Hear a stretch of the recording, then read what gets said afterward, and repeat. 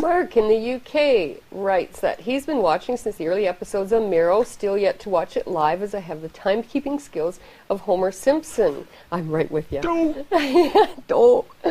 But I will one of these days. Anyway, to my question, you wanted some more Windows based ones. So, on both Windows XP and Windows Vista 64-bit, if I have Firefox open for too long, say overnight, it starts to become a memory hog. It's currently at 300 megabytes and starts causing random freezes while using it. Watching a YouTube video in Firefox when it's doing this is impossible as I keep missing bits of the action. It also affects normal browsing. For example, when scrolling the page, it'll freeze for a second before finally catching up. My PC isn't molasses slow either. I have a 2.5 gigahertz Core 2 Duo with 2 gigs of DDR2 RAM. That should be more than enough for hungry browsers. So, uh, Mark writes, I've looked around on the Mozilla support forum for help. Hope I pronounced that right uh, but not found anything concrete, just that other people have had similar problems. People tell me I don't pronounce it right.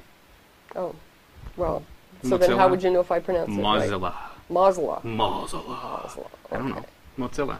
I think Mozilla. I think about Godzilla. yeah, And you know the that's movie, a good way to remember the it. yeah. Okay. Mozilla. Godzilla. Um, now, do you want to take care of that, or do you Oh, want there's me to more read the- questions? there's one last little bit. sure. Yeah. Go ahead. If well, it's related.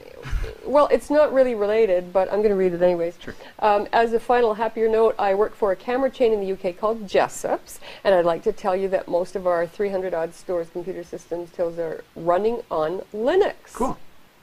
Very good. Uh, looking at your Firefox problem, I haven't had that happen, um, but I'm not uh, much of a Windows user myself. So, um, but I do know that. I, I don't want to use the term memory leak, but I know Flash in particular, the, the Flash plugins tend to um, have problems on certain systems. I know my wife's laptop is, is running Ubuntu and has had this problem where if she leaves a program, uh, a website open that has a Flash object on that website, be it YouTube or anything, even just a banner, um, her computer will slow to a crawl until she closes that Firefox window. Not sure that it's a Firefox problem. I think it's more of a Flash problem. So uh, because it doesn't seem to happen when, when she's got just like text pages open or, or pages that are just you know graphical but no Flash. I would try. Um, I'm not going to point the finger at Firefox right away. What I would try is um, bring up a website because you say that this is happening all the time. Let's try first of all bring up YouTube and you know or anything that has a Flash object just there. It doesn't have to be running. It doesn't have to be playing. It's just got to be loaded. Uh, and leave your computer overnight. Come back to it in the morning. See if it's uh, if it's doing that thing. Uh, if it's really crawling. Um, if it is, then okay, move on. And then that the next night, uh, bring up a page, Google something that has absolutely no Flash objects whatsoever.